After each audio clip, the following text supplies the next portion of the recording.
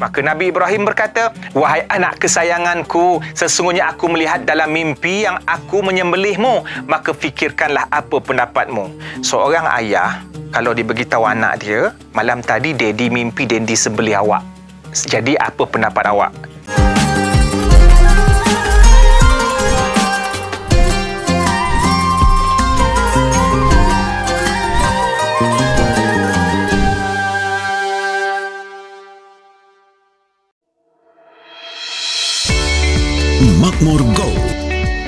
Assalamualaikum warahmatullahi wabarakatuh. Apa khabar semua adik kakak, Kak Long, Pak Long, Pak Angah? Bertemu lagi dalam rancangan Sirah Ambiya bersama Surya. Jangan ke mana-mana. Kali ini dalam perjalanan kita menyelusuri kisah-kisah Nabi dan Rasul sampai giliran kita nak bercerita tentang kisah seorang Nabi Agung iaitu Nabi Ismail alaihi salam. Sebagaimana yang Allah sebut dalam surah Maryam ayat yang ke-54 A'udzu billahi minasyaitonir rajim.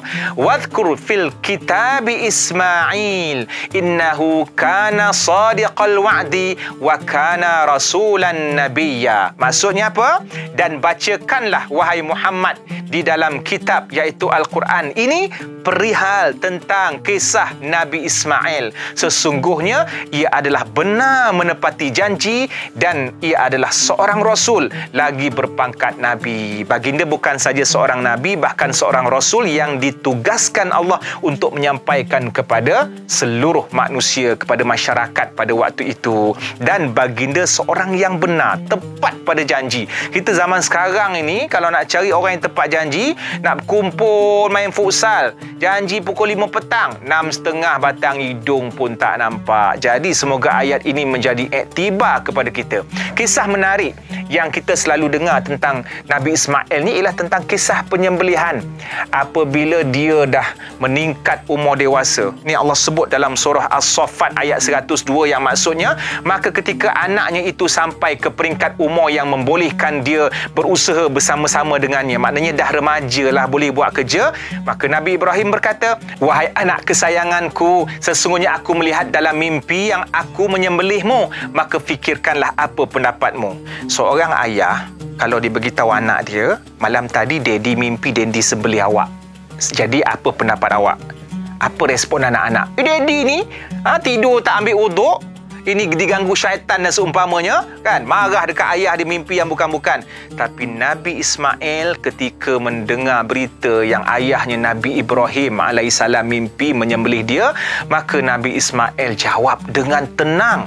Sesuai dengan dia sebagai seorang nabi wahai ayah jalankanlah apa yang diperintahkan kepadamu. insya-Allah ayah akan mendapati daku daripada orang-orang yang sabar. Tengok bagaimana seorang anak dan juga seorang nabi mendengar mimpi daripada ayahnya yang juga seorang nabi. Maka dia sudi dan sanggup untuk taat dan melaksanakan perintah Allah. Tetapi Allah Maha Penyayang Allah memang kasih kepada hamba-hambanya yang beriman. Apatah lagi kalau hambanya itu nabi dan rasul jadi Allah tukarlah Nabi Ismail ini kepada seekor binatang sembelihan yang besar sebagaimana yang Allah sebut dalam surah As-Saffat ayat 107 maksudnya dan kami tebus anaknya itu dengan seekor binatang sembelihan yang besar.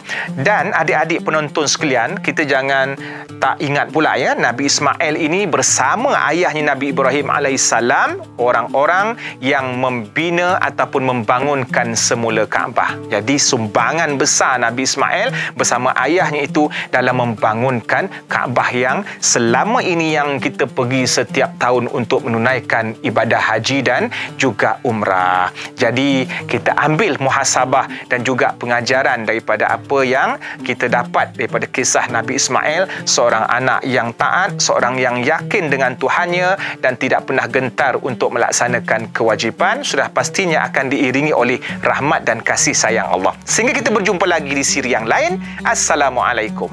thank you